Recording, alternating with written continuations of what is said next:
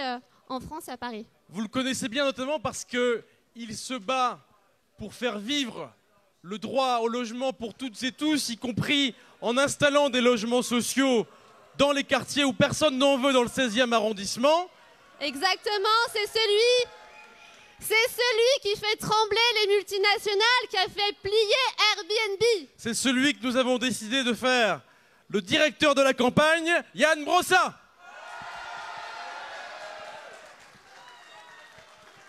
Bonjour à, toutes et, à tous, très heureux de vous retrouver euh, place de Stalingrad, si nombreux, avec ce petit air de fête de l'humanité qui fait du bien en ce mois de, novembre et très très heureux de vous voir euh, en nombre et aussi motivé pour cette campagne de Fabien Roussel. Vous savez, il y a quelques semaines, il y a un, responsable politique d'Europe Écologie Les Verts, comme je suis aimable, je ne vais pas donner son nom, qui disait, qui disait Fabien Roussel, c'est le retour de la vieille gauche qui tâche.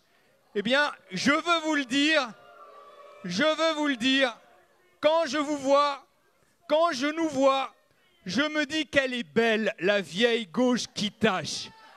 Précisément, précisément, parce qu'elle sait d'où elle vient, parce qu'elle sait ce qu'elle doit à l'idéologie des Lumières, parce qu'elle sait ce qu'elle doit à la grande révolution française, parce qu'elle a ces racines-là, parce qu'elle porte aujourd'hui encore les valeurs universelles de la liberté, de l'égalité, de la fraternité pour toutes et tous, quelle que soit sa couleur de peau, quel que soit son genre, quelle que soit son origine.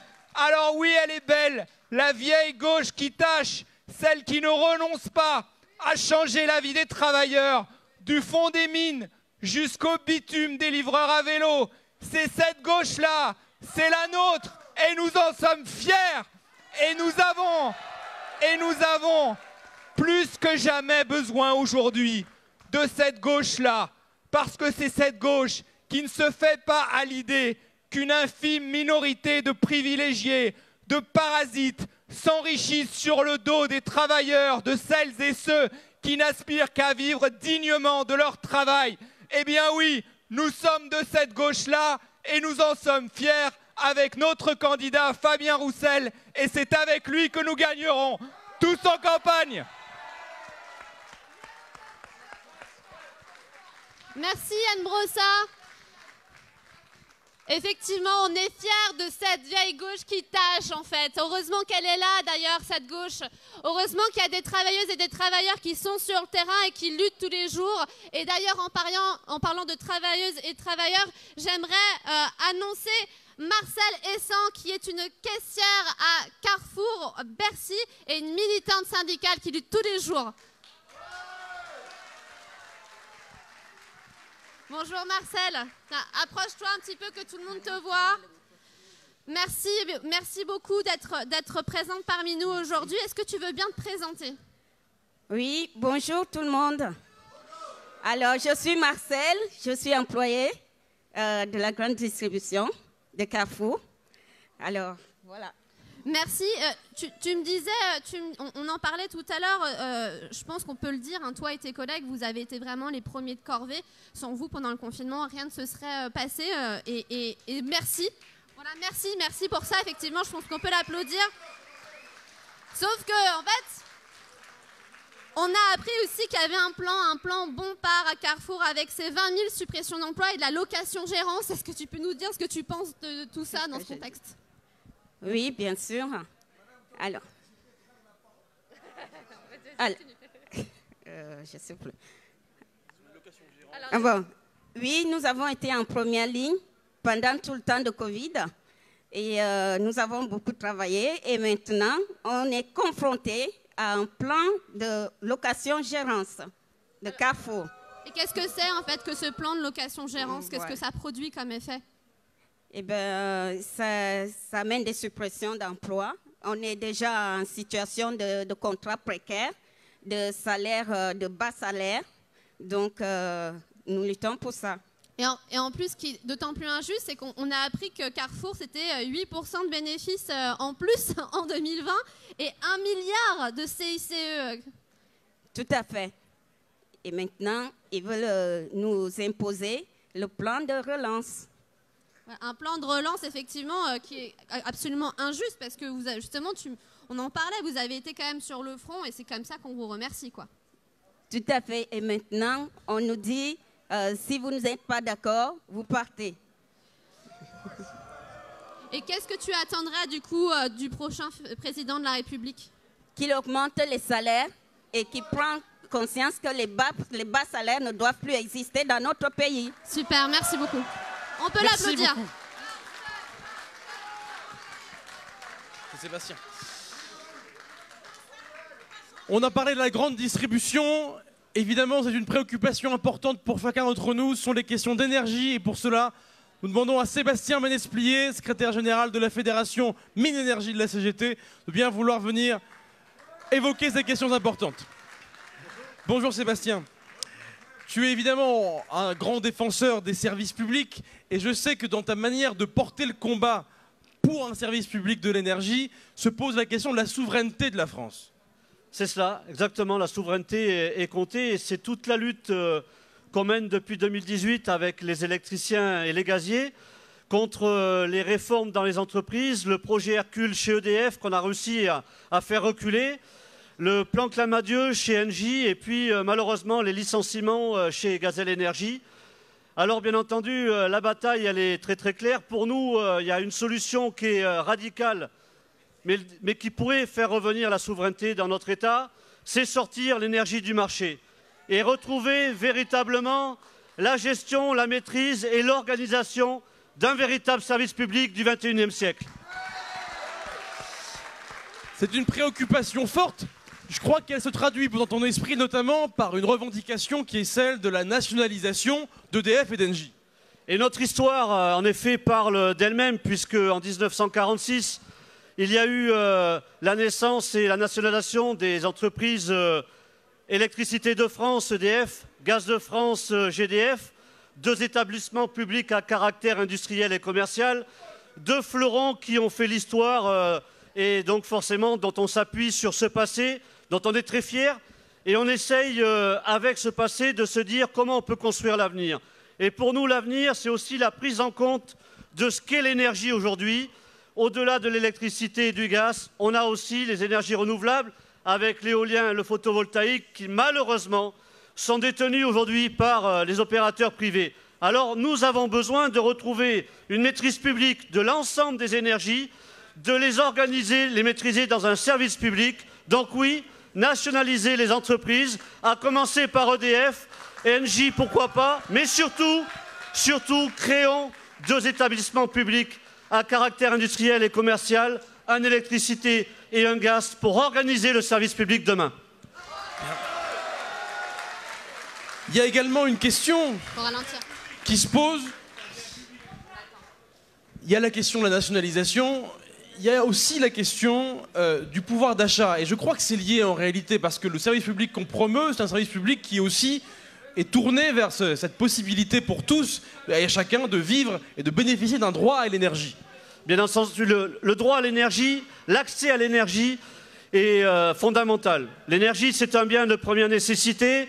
Et quand on voit qu'encore au XXIe siècle, on a 13 millions de précaires énergie en France, c'est euh, vraisemblablement euh, le plus gros achoppement quand on nous a vendu la libéralisation. On voit bien aujourd'hui les effets néfastes. Alors on a besoin de retrouver notre intérêt commun, l'énergie bien de première nécessité, pour euh, que tous les citoyens y accèdent, on a besoin de créer les conditions partout en France, qu'on soit dans l'outre-mer, qu'on soit dans les grandes métropoles ou à la campagne ou à la montagne, mais y compris en Corse. On a besoin donc que les Français puissent accéder à l'énergie à bas coût.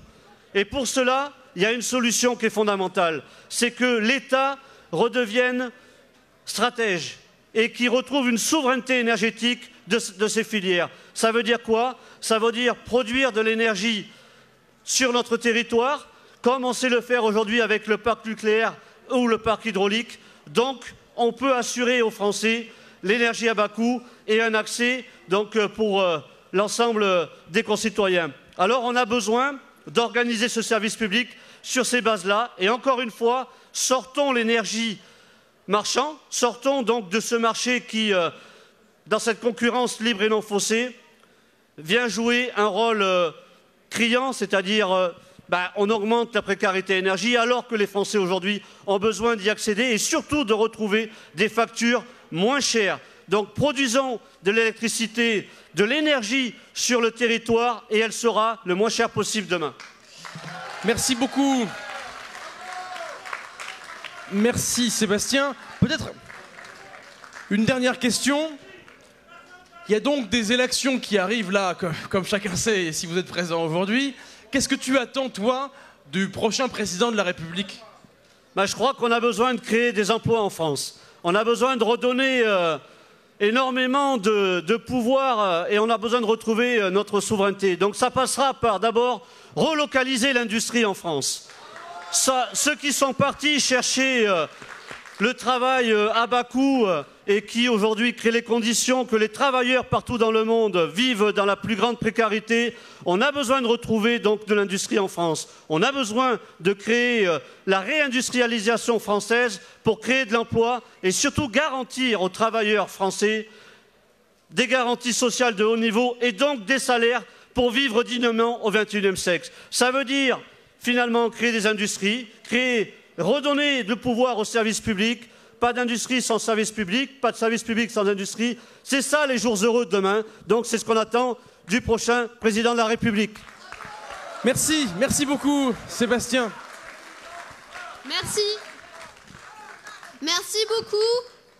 On a parlé euh, effectivement euh, de lutte dans le secteur de la métallurgie aussi. Et en parlant de, métallurgie, euh, j'aimerais vraiment que vous fassiez un, bel accueil à une ouvrière automobile qui est donc issue de ce secteur, déléguée syndicale. Donc elle sait aussi ce que c'est que la lutte. J'aimerais que vous fassiez un peu de bruit pour Delphine Bitorel qui arrive tout de suite.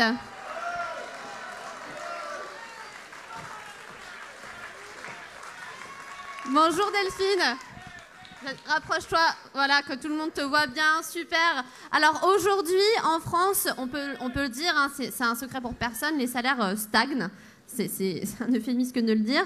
Les négociations par branche sont au point mort, on en discutait euh, aussi tout à l'heure, alors que les dividendes, eux, ils explosent.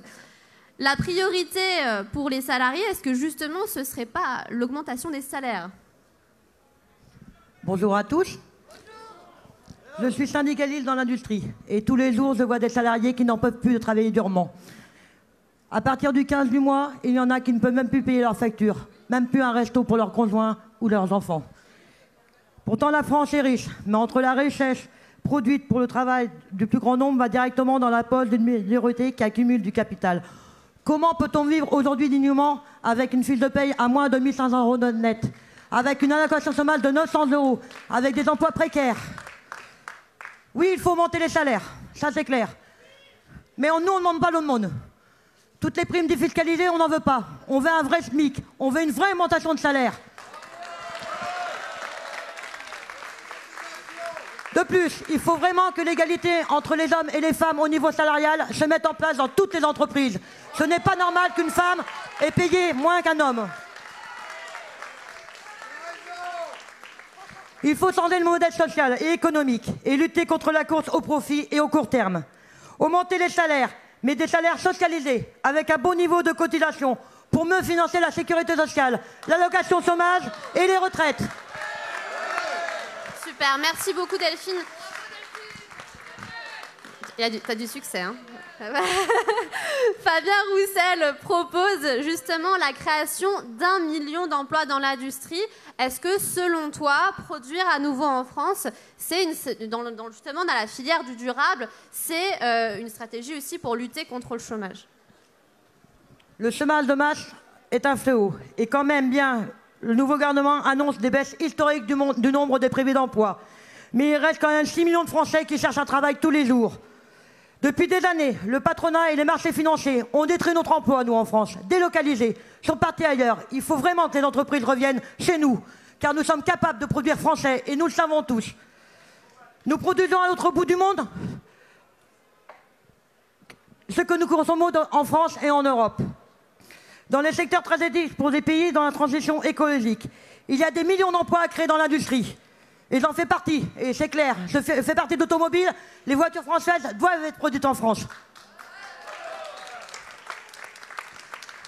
Dans les énergies d'avenir, dans l'industrie du médicament, dans l'environnement, dans l'aide aux personnes et du service public.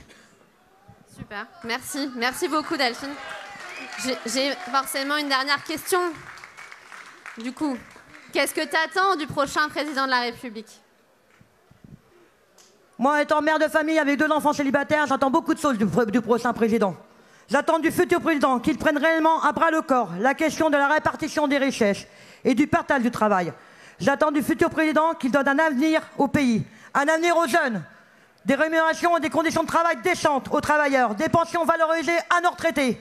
Et puis je veux un président qui engage le pays dans la voie du progrès et de la démocratie, comme dans les grands moments de l'histoire de France.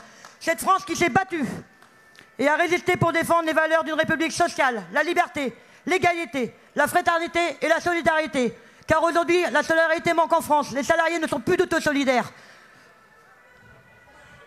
Parce que les travailleurs du monde entier ne veulent, plus, ne veulent pas la concurrence et la compétition entre eux. J'attends aussi de notre futur président qu'il défende sur la scène internationale l'idée de la coopération économique, de l'harmonisation sociale par le haut, du partage des savoirs et des savoir-faire. Et bien sûr qu'il défende la paix et le développement. Et vive Fabien Roussel Merci beaucoup Delphine. Merci beaucoup, merci. Évidemment, comment ne pas demander au monde très éprouvé par la période que nous venons de vivre de prendre place sur la scène? Bien sûr, comment ne pas faire appel au monde de la santé? Je demande à Camille, qui, est, qui travaille à l'hôpital, de bien vouloir nous rejoindre pour parler de la situation à l'hôpital. Camille, merci.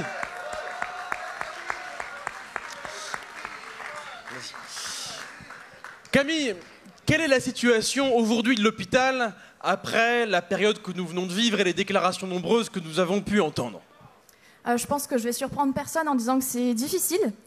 Euh, c'est pas nouveau, ceci dit. hein, ça, fait, ça fait longtemps que c'est difficile. Il y avait déjà des mobilisations en 2019.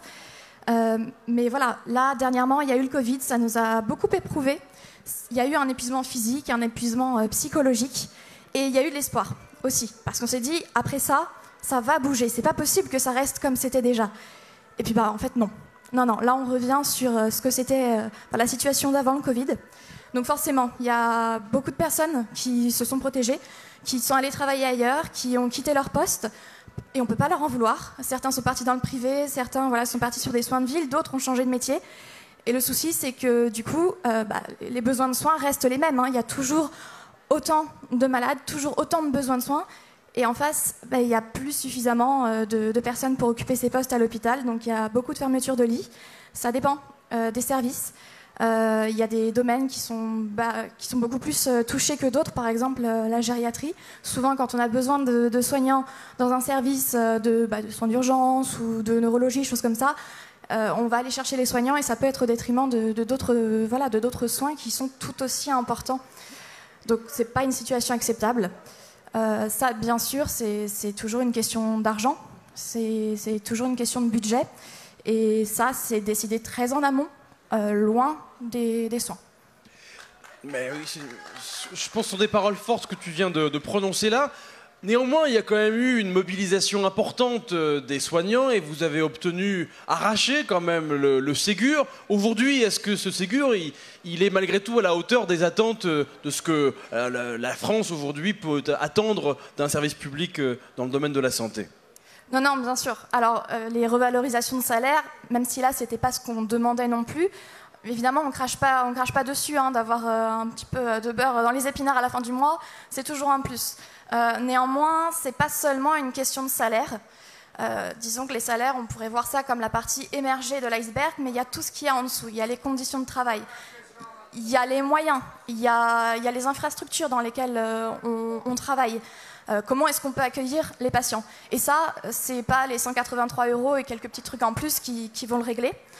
Euh, que tout le monde n'a pas eu, effectivement, le médico-social n'a pas été reconnu là-dedans. Il y a des soignants qui sont venus en Ile-de-France, d'autres régions, pour voilà, prêter main forte au moment du Covid.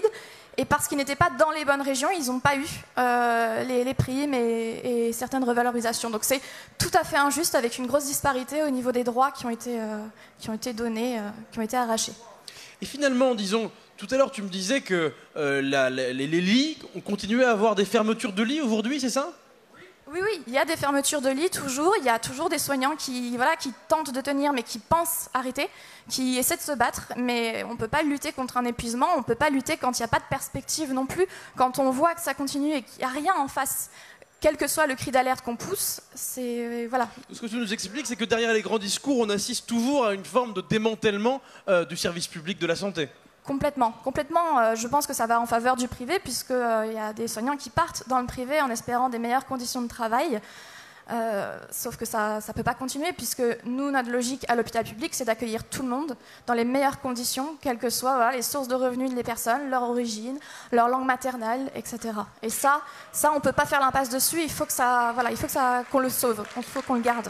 Bon, on t'entend dans ces conditions, les luttes sociales vont être nécessaires et indispensables pour améliorer les choses, mais évidemment, on ne pourra pas faire l'impasse sur les luttes et les enjeux politiques. Et donc, de ce point de vue, qu'est-ce que tu attends, toi, euh, du prochain président de la République? Alors, ce qu'on ce attend, principalement, ça va être évidemment les salaires, parce que toujours, on a besoin de, cette reconnaissance, on doit pouvoir boucler les fins de mois, mais la façon générale de financer euh, les soins est à revoir. Là, on a des budgets fermés c'est pas pas quelque chose qui peut permettre de soigner parce que les soins c'est cher, on peut avoir des, crises sanitaires, on peut avoir des choses imprévues et il faut avoir des moyens derrière. Donc il faut euh, aller chercher l'argent là où il est pour le enfin, pour le placer là où on en a besoin. Les soins, on en a besoin. Merci, merci beaucoup euh, Camille. Merci. Merci beaucoup. Effectivement, le secteur de la santé, surtout après tout ce qui s'est passé, après cette pandémie, on se dit mais comment, comment est-ce qu'on comprend toujours pas que c'est essentiel, qu'il faut arrêter d'avoir une logique libérale complètement stupide qui est contre les besoins de la euh, population? Et aussi, ce qu'on a vu pendant cette pandémie, l'autre euh, parmi les, secteurs et les personnes qui étaient le plus en difficulté, c'était la jeunesse. on a vu la jeunesse faire la queue dans les centres de distribution alimentaire. Je ne sais pas, dans un pays aussi riche que la France, c'est une aberration et je pense que ça, mérite évidemment euh, toute, notre colère. Euh, et surtout, je pense que la meilleure personne pour en parler de cette colère et des luttes en la matière, c'est euh, un autre porte-parole de Fabien Roussel, secrétaire général du mouvement des jeunes communistes, Léon Desfontaines.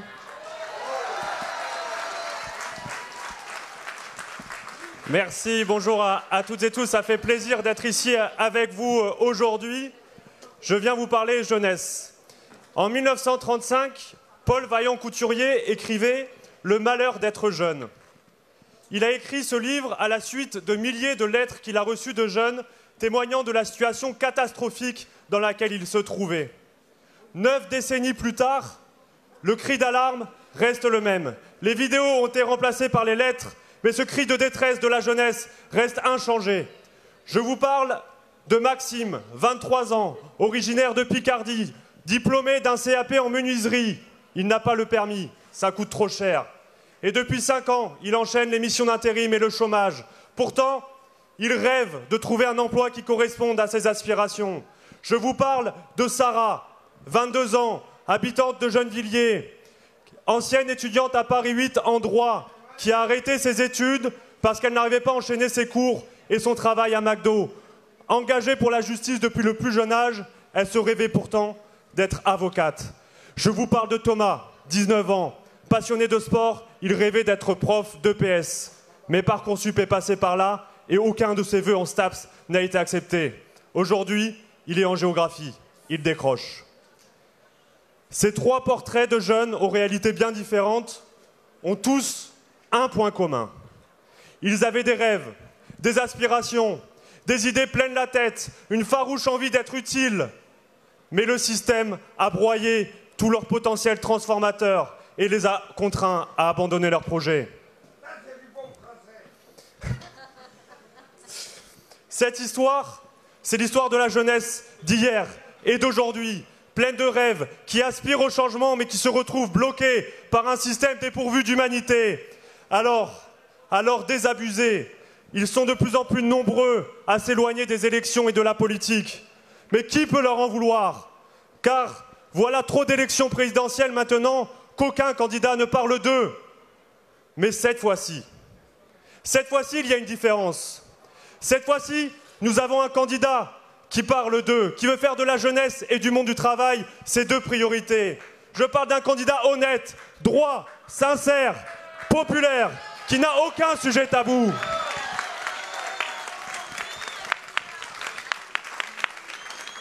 Ce candidat vient bousculer le monde politique avec ses revendications novatrices, ambitieuses et réalistes. J'ai nommé bien évidemment Fabien Roussel. Le connaître. Le connaître, c'est voter pour lui. Alors vous qui êtes présents, nous savons ce qu'il reste à faire. Témoignons de ce que nous entendrons. Discutons-en autour de nous et allons convaincre un à un celles et ceux qui n'y croient plus ou qui hésitent. Montrons-leur que la politique peut parler de nous, de nos réalités, que l'engagement politique peut changer notre quotidien. Réenchanter la politique, réenchanter l'engagement. Voilà notre défi, voilà le défi des jours